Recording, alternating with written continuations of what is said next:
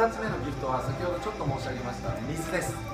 H2O でもここでも H2O っていうぐらいなんで HH と O ですよ。これ O って酸素なんで本当に酸素っていうのは重要だ。ということを思いながら水の話を聞いてください。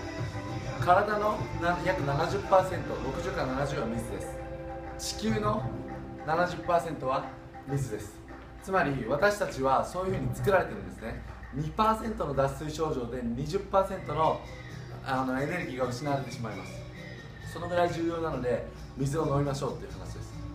水をあとね飲むだけじゃなくて living food っていう概念があります。食べるものの中にも水が入ってる。でそして今ですね24時間で食べたものを全部リストアップしてほしいんです。過去24時間食べたもの。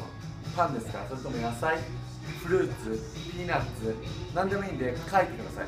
バーってリストを作った時にちょっと時間がないんで答えだけ言いますけれどももし丸をつけてあの水が含まれてるたくさん含まれてるものを丸をつけてください。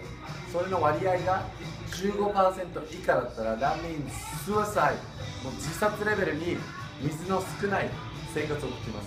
だから常に喉を渇いたりします。ちなみに喉が渇くっていうのはあすいません。食欲食べたいってなるときは喉が渇いてるだけっていうこともあります。そういう時は何でわかるかっていうと水を飲むと頭の中では喉が渇いたのと食欲と判断つかないんです。だから喉乾いたら食べ物から水を得ようとするっていう効果もあります。だからこそ食べる30分前に水を飲む。で食べた30分後に水を飲む。それを意識するだけであの食欲が抑えられて消化活動に無駄なエネルギーを使うことがなくなります。